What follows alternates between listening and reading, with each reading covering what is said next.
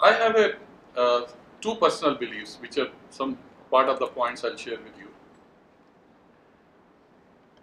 One is that yes, you can uh, pick up a book and you can read the theory. But the question is, where does theory come from? Let, let's say theory of success, or we are talking of theory of relativity, or we are talking of gravity, or we are talking about uh, price sensitivity. These theories, where do they come from? Uh, anyone? What's the genesis of any theory in life, in science? Price sensitivity or demand? Sorry. Empirical studies. Yeah, absolutely. It's, it's, it's what happens in real life. So you observe and you conceptualize and then you say, oh, when the prices go up, demand falls. So you give it a name, a price uh, sensitivity or price elasticity. So the biggest point I'm making is that all the theories that we see, science or management or engineering, are have their roots in real life, in practice, what happens, what we observe, what we see, we conceptualize. And similarly with success. So let, let's see if we can uh, try and conceptualize and, and make some theories out of what happens. There have been a lot of people, organizations, agencies who have interviewed uh, the most successful people in the world. You, you can Google it, you can go online and you say, what did Steve Jobs say? Uh, what did Bill Gates say? How to be successful? And I can challenge you that when you summarize it, you will always come back to the same points, the very points which Professor Sharma actually mentioned right up front. And I'm going to discuss the same. So I'm going to state the obvious. I'm not going to say anything. But I'll try to elaborate and I try to relate it with real life examples so that if possible, uh, you, you can uh, begin to see what I'm uh, what I mean by those or what, what, is meant when people uh, describe these concepts. So the first and foremost, and, and being successful in life, when I started my career, it was as an individual worker. So do the best you can and you can be brilliant with your, I started as a brand manager, for example. So I can be brilliant at brand strategy, I can be brilliant at implementation. But the two or three things which happened, I found that whatever strategy I come up with has to be implemented by someone else. That's critical. And the second is that very soon, and very early on in my life, I became a manager. And that was the biggest learning in my life that earlier it was convincing others, and now it is making sure that your team is able to do what you want them to do. And that is far more difficult. So, when I'm going to say helps in becoming successful as an individual, but more so helps in becoming successful as a team member and as a team leader. And those are critical as well. So, the first message is uh, being positive. Now, think in real life what kind of people you like to associate. If you want to invite a friend home, or if you want to spend time with your relatives, what kind of people you like to spend time with? People who complain? No. Or people who are positive about everything. And I'll give you an example. Suppose I hire a medical representative and I say you are able to make only five calls in a day. Now there are two kinds of responses, and I've seen it all my life. One kind of response is there's too much of traffic, doctors are very busy, my bike did not function, and long distances between the doctors and the route planning is bad. And the second one says, let's find a solution. Maybe I can meet some in the morning, some in the evening. Maybe I can find when is the off time. Maybe I can find out what are their hobbies and what are their habits. Somebody goes for a morning walk. I can catch him there. What kind of a person would you recruit? And I can go on and on and on. And you will realize that the person you want to associate with, person you want to work with, and if you become a boss, the person you want to recruit is somebody who is not part of the problem, is part of the solution. And when I was managing director at Eli Lilly, we had five values. And one of the most important value in five was the attitude. Is it positive? Is it negative? And that is a critical part of being successful. So I challenge you. I challenge you. There is good in everything And most important, there is good in everyone. People you meet, you can criticize or you can fight good. Nobody is perfect. Let, let, let's, let me share my experience. 99.9% of us are average people. Some are successful, some are not. That's a different issue. But we are all average. And, and the point is, how do we become successful if you know? And how did someone else become successful? What can we learn from him or what can we learn from her? And the first habit, and I'm calling it a habit, is being positive and finding something good. Try it. When you meet a person, you can criticize a person the way the person looks, the way the person talks, the way the person behaves. Or you can ignore that and say everybody has positives and negatives. Let me only focus on positives. And let me find something good and comment on that. What do you think will happen to relationship if you criticize a person versus if you find good in? Genuinely, I'm not saying you should be telling lies, but genuinely if you find good in a person, that is something which everyone loves. You want to get a job, you want to make progress in your career, that is a critical aspect that you need to inculcate in yourself. The second one is about uh, setting a goal. If you have read, one of the best books I've read on this subject is Stephen Covey's Seven Habits of Successful People.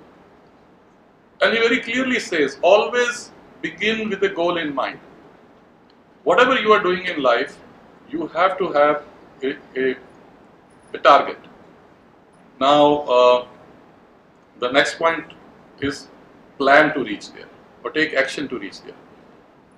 I'm quoting now, these are not mine, but I'm quoting uh, from someone else, that nobody plans to be lazy, poor, or fat. Nobody plans to do that.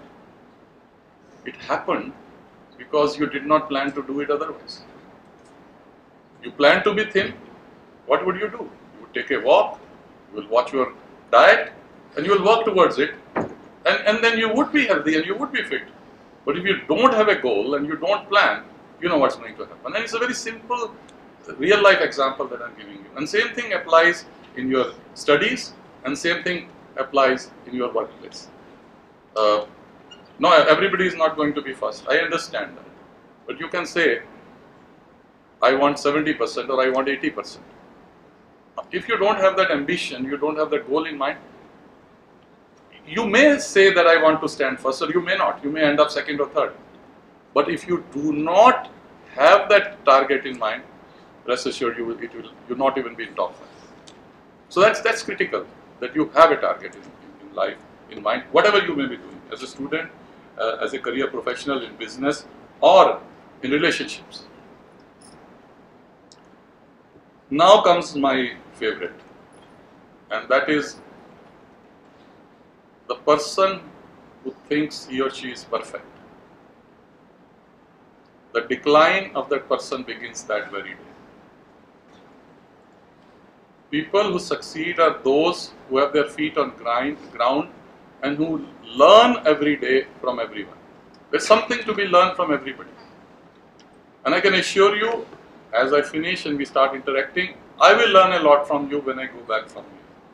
I will learn from my interaction with your uh, professors. There's something to be learned every day. But the day I say, I am perfect, I have nothing to learn, that's a my decline. Because why does it happen? It happens to individuals, it happens to companies, and it also happens to countries.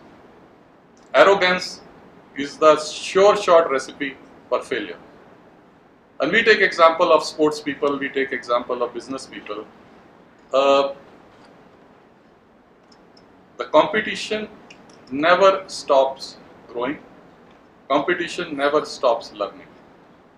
So if you are not learning, then you are going to be left behind. It is as simple as that. Now, uh, I missed uh, Virat Kohli's interview after the match against uh, Pakistan. Uh, but I was commenting upon uh, it the next day that this is what I've observed in Virat Kohli. He said the same thing he said in his interview, which is if you remember, in, during his, he is is probably the best batsman we have in the country, right? One of the top in the world. Remember, in England, he was getting out again and again and again on the balls which were pitched outside the off. He corrected himself. He learned how to play the balls which were outside the house. So that he comes behind the ball and he plays them to the ground so that nobody can catch him. And he commented upon it. And he also bowed to Sachin Tendulkar when he scored his 50s. If Virat Kohli thought he was perfect, he would never improve. And if he would not improve, India would not be winning these matches, I can assure you. Same thing with Sunil Gavaskar, he used to play table tennis so that he could keep an eye on a fast moving ball. And he was one of the best players of fast balls, we know that. Uh, Tendulkar, he was practicing almost every day. So, no one can succeed unless the person is practicing and learning every day or improving every day because if Virat Kohli or Sachin Tendulkar or whosoever it may be does not improve, then there are bowlers and there are competing cricket teams who are watching their videos and finding a weakness and trying to attack that. So competition is always attacking you and only way to keep winning is to improve every day. And that is absolutely uh, critical. Uh, other one is very obvious, which is hard work. Uh, it has happened to me. As I said, let's start with the premise that I'm successful. So it happens in forums like this that people come up to me and say, how did you succeed? And uh, I have to smile and tell them that there is no formula. There is no shortcut. I cannot give you a simple magic bullet. Okay, do this and you will become successful. That cannot happen. That does not happen. You look at Sachin Tendulkar, you look at Virat Kohli, but you don't see a 20 years of hard work behind that. If they had not done that, they would not be here. So that is critical. So next one is about hard work. Now you, uh, we talk about that you don't have a goal to lose weight, you will never lose weight. You don't have a plan to lose weight, you will never lose weight. But if you don't work hard at losing weight, you'll also never lose weight. You have to get up early in the morning, which I think is the most difficult thing to do for each one of you.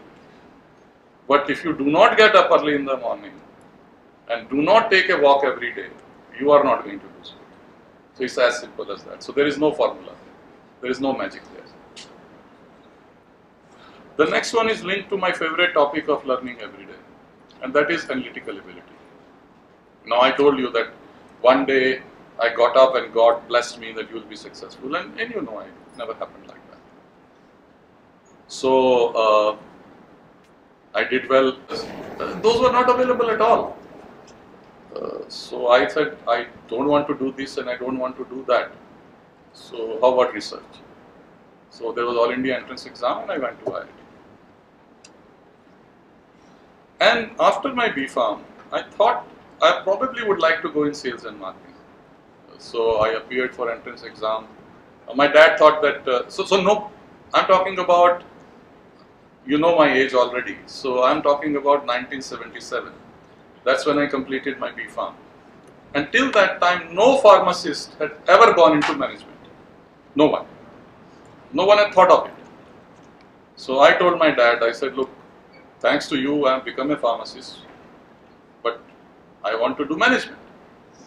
And he thought uh, he's an idiot and pharmacists don't go for MBAs. That is stupidity and anyway this guy will never get it.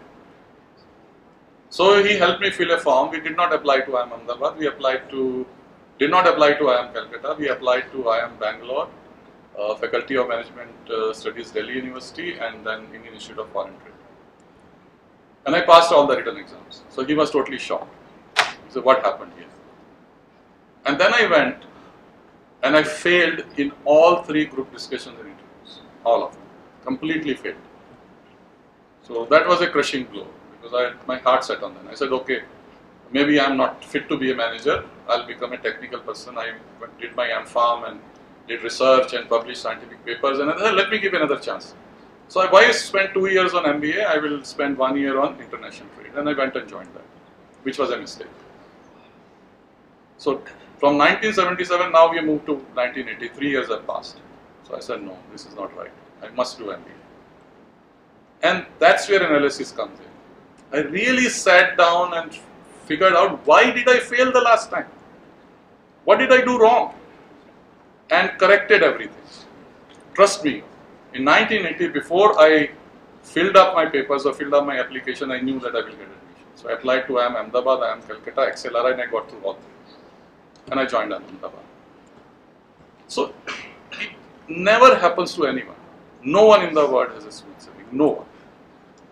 You look at Winston Churchill, win the war, lose the election, then come back and eight years later win it again. Everybody. If there are no failures, there are no learnings.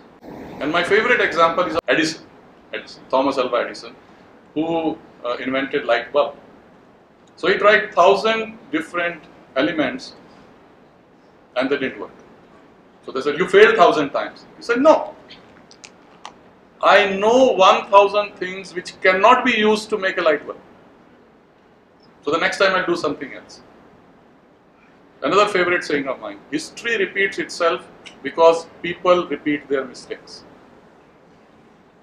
You cannot repeat the same action every day and expect a different result. Your actions have to change if you expect a different outcome. And it's as simple as that. That's where analysis comes in. That if you did not succeed, which happens to all of us, and we should be willing and happy to fail because that's where we learn the most. What not to repeat next time. But if we repeat and then expect to succeed, it's not going to happen. And that's where analytical ability comes in, analysis comes in. Next one, focus. Now, a cricketer is a cricketer, is a cricketer, is a cricketer. Have you seen somebody who's a, a, very successful dancer and a very successful cricketer and a very successful business person and a, uh, you know, everything? It, it doesn't work like that. Yes, an individual is bigger than the role. An individual can do anything. But you have to choose one. And that is critical. So you have to figure out early in life what you want to do, what will make you happy. And then focus, focus, focus, and focus. And without that, nothing's going to happen. Last uh, points I've already mentioned are working with others. Uh, 1996, first time I migrated to United States. And uh, I, before that, uh, I was director of sales and marketing at Eli Lilly and Company, which I started here. And three years later, I came back here as managing director. So those three years, I was supposed to go and learn and be trained to become a managing director. So I went to Indianapolis, and uh, my boss asked me, uh, so after a few weeks, so what have you learned? So what are you here for? As I'm looking at uh, Sidney Taurel, Sidney Taurel was president, I knew him and he later on became, went to become chairman and CEO of uh, Lilly Worldwide. So I said, what have you learned from him? I said, what I've learned from him, that he's chairman of the company. He cannot manufacture medicines. He cannot discover a medicine. He cannot go out and sell a medicine. He cannot create an analytical process. He cannot, he doesn't even know what HR processes are. He can't do anything. Yet he has to run a company. So he says, What have you learned? I said, All the control he has is on structure, processes, and most important, people. He has to get things done through others. And that will be the story of each one of us through all our life. And that goes back to the first point that if you want to relate to people, if you want to supervise people, if you want to lead people, if you want to work as a team member, it is critical that you relate to people and to relate to people it is critical that you be positive. I'm going to stop here.